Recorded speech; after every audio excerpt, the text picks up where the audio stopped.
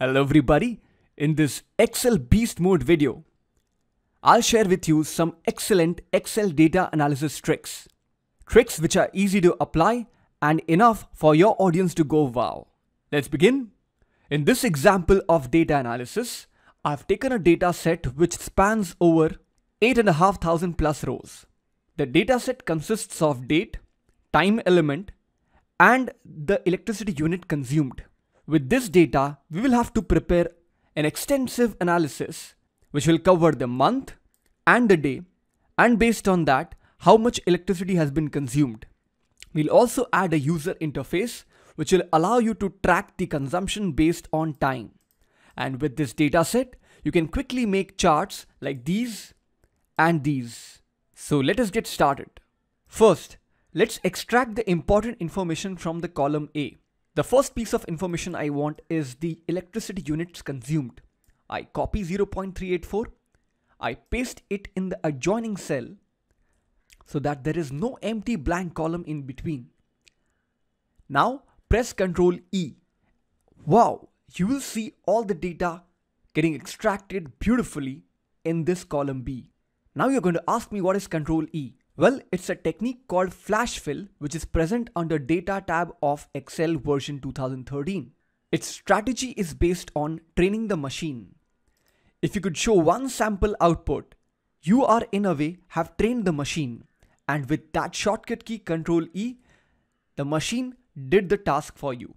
Let me try this with date.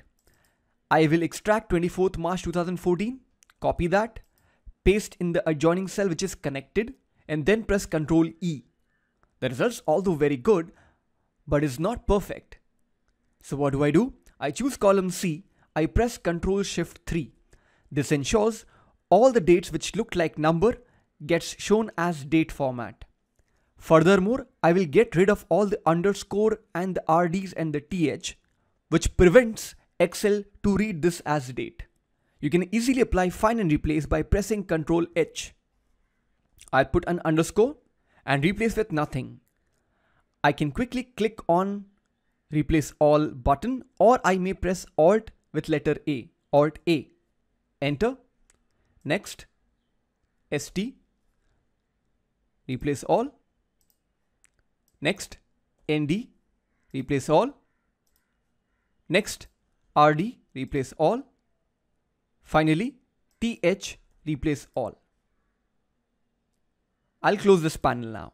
Next, if I wish to find out which of these are Sundays or Mondays, I may write a function called text. Text formula asks you to choose the date value and then in the format you have to give 3 times D in a pair of double quotes. Enter. The text formula will help me get answers for all the dates. So I've got KWH, I've got the date in place, I have got the day in place. Now if I want time, what next? I try picking 3 p.m., copying that, pasting in the cell which is connected in the same row, and then pressing Ctrl E. However, this will not yield you correct results with respect to time. Reason? As you pasted 3 p.m., its format got changed and became more elaborate. You can see in the function bar 3 colon 00 colon 00 space pm. This sample with which you're trying to train the machine is not the same as input, hence the confusion. So let me put a single quote 3 and then space followed by PM. This ensures that the time will be stored as text. Now with this sample, I press Ctrl E and get the results. Although the results are very encouraging and accurate, however, it's not clean enough. I should have trained the machine better with example of 8 PM. Reason? Because this case has problems of underscore and lack of space. So I go back.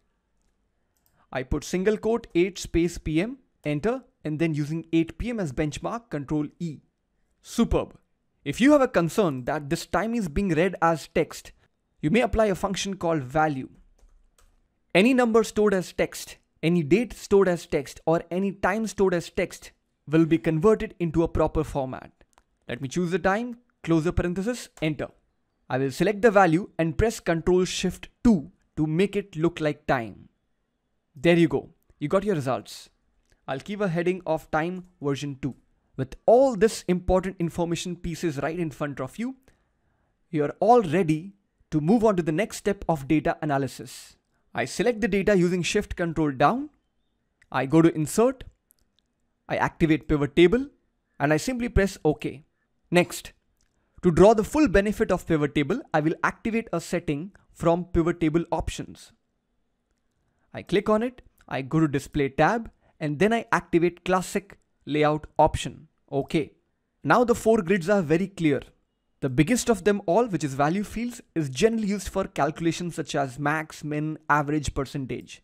Let me put date in the row fields. You can put the date in the row fields by dragging and dropping in the section at the bottom also. You can also make a tick mark. Now, when you right click on any one date, you get an option called group. You click on group and choose months. What is this going to do? It's going to group the dates into clusters of month. Next time you can try with grouping dates with months and years both. Right now, I'm more keen to put day in the column field. And I want to rearrange the sequence of these days from Monday to Sunday. So I right click on Sunday. I go to option move. I then choose move Sunday to end. Now let me fill this value grid area with kWh, that's the electricity units consumed. Once having chosen all the numbers, I press Ctrl Shift 1 to correct the format with two decimals. The analysis shows the total consumption during the entire year was 6849. Now when I choose all the information pieces from the grid, excluding the grand totals, I can go to Home tab, go to Conditional Formatting, reach out towards color scales and choose the heat map option, which is the eighth one. Next, I wish to show a small chart against every month. So I select the cell, I go to insert, and then I go to spark lines. This is a feature of 2010 version of Excel and click on the line option. All it asks me is to choose the data range, which I gladly do so from Monday to Sunday. Do remember, no grand totals to be taken, else your chart will be misrepresenting the data. Press OK. Once the spark line is in place, you can modify the settings by going to design and choose high point and low point. Furthermore, you can drag this down to have the same for all months. Next, I choose any cell from inside the pivot table and then I go to analyze. Within Analyze, I choose Insert Slicer. It was introduced in the version 2010 of Excel.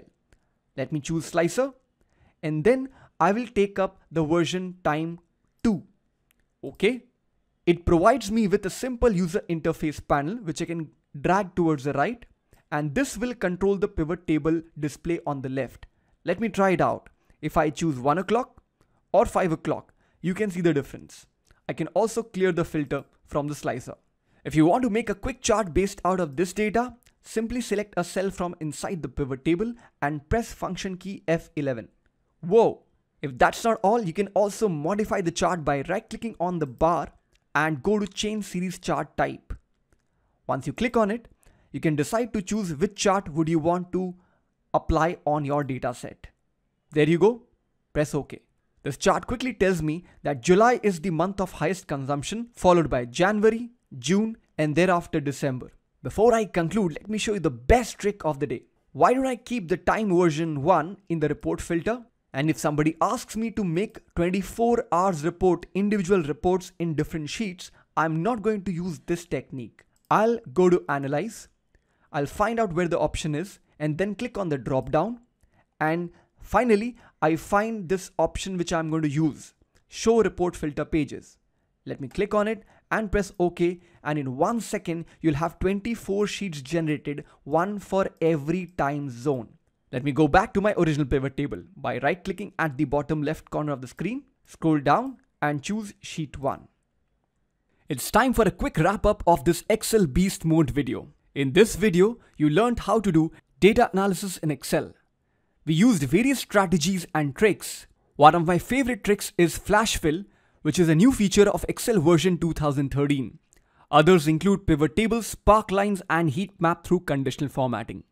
Apply these learning to your job and become faster, save time, and bring efficiency.